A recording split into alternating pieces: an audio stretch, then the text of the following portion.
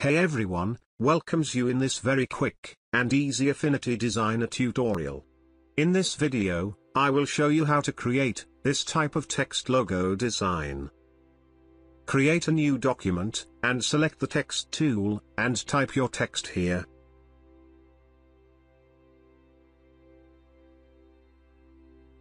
Increase the size of your text, and change to any font that you want to use, I'm using the Bahamas font.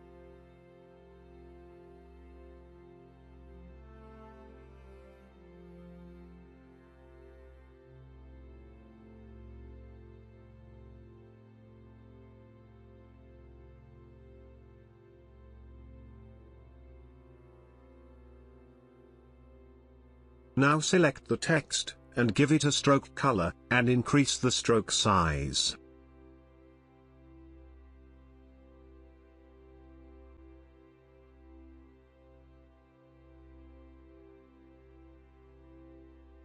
Change the stroke align option to the outside, and join option to miter join.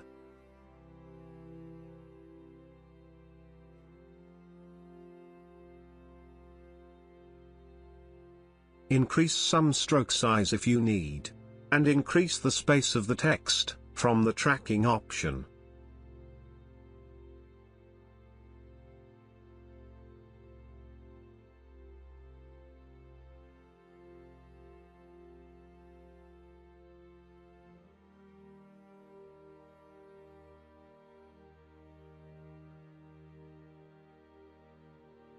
Now select the text, and convert it to the curves.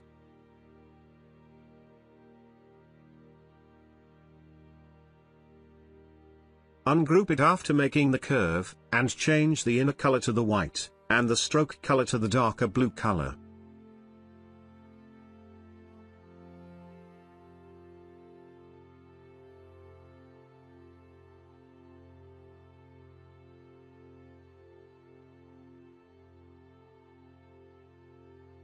You can increase the stroke weight if you want, after that select all and make it group.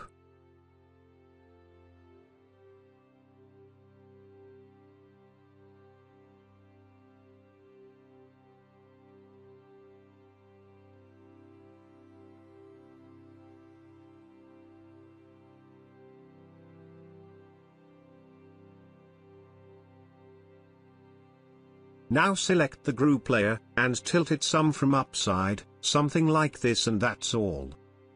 I hope you like this video, if you want more quick video tutorials, like this then please leave a comment and subscribe to this channel, and please share this video. Thank you all.